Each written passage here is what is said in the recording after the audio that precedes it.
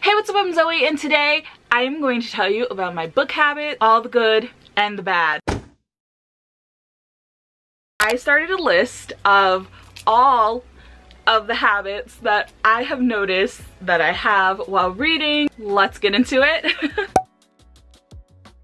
Sometimes whenever I start a book, I will start it and then I will abandon it. I don't know why I do this. I will go into a book super excited, super ready for this new journey, and then I reach a point where I'm just like, okay, I'm gonna put this down for a little while. I think I'll start another journey, and then a year will pass, maybe two, maybe three.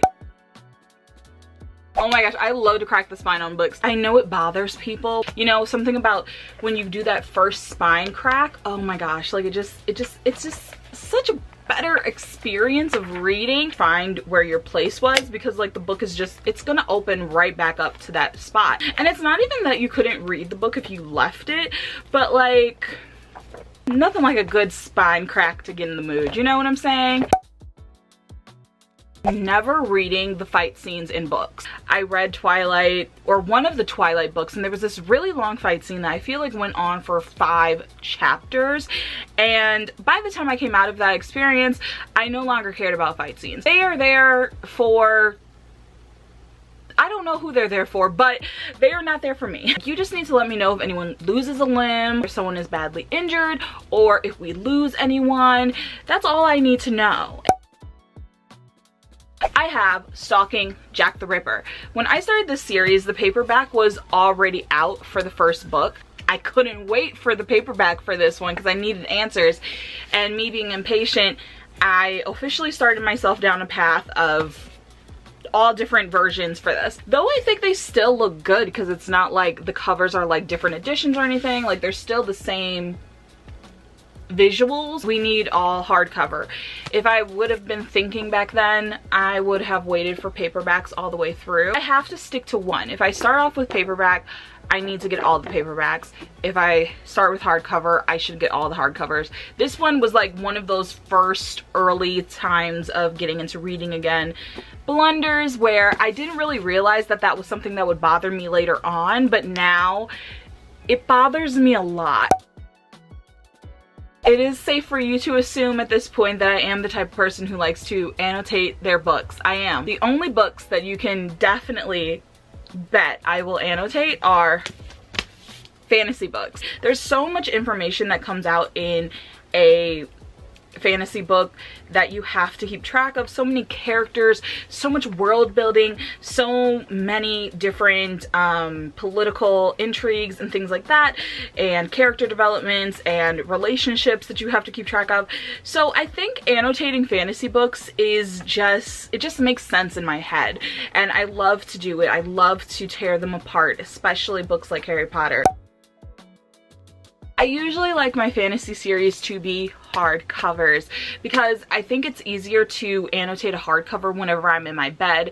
It's kind of like having your own little nice little surface on here. When I have a paperback, I feel like I need a table or something just to secure it a little bit more so I can get straight lines when I'm underlining or when I'm writing in the margins and things like that. So um, fantasy books, I don't mind them being hardcovers just because I feel like they just look better that way anyways. Then a good old paperback is fine for everything else. A contemporary romance like this, you know, I'm not very likely to annotate this. And I feel like most romance books come out in paperback form right away anyways.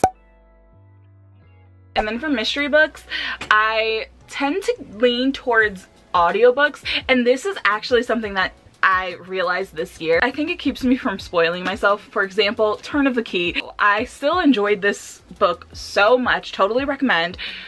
I did spoil myself on some things because I couldn't help but read ahead. You know that weird thing where your peripheral will like kind of be on the page but you're kind of like sneaking a look at the other side? Yeah, that happened a lot with me. I I get tempted and for some reason I just, my eyes, they just wander. I think for me, mysteries should definitely be consumed in audiobook form because um, any type of physical version, hardcover, paperback, that doesn't really matter. I start multiple books. Sometimes I don't even update my Goodreads with them because I'm like, I don't know if I'm gonna stick to it and I don't want to have more books sitting there for a year with no progress. I think that it just helps me focus and I feel like when I revisit a certain world, I feel even more attracted to it. Like I started Starsight in August and I had no interest in it. But when I was reading it in between my Nancy Drew reads, I all of a sudden found the world so fascinating again and I was just so into it. Taking the sleeves off of my books. I feel like most people do that though, but yeah, I take those sleeves off when I'm reading. It's just so much easier, unless it's a library book, but yeah, so that's my other habit. And those are all of the book habits I have for you today.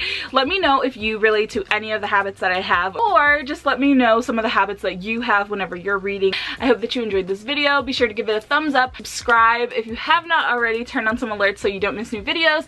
And that is everything. Thank you so much for watching. Bye!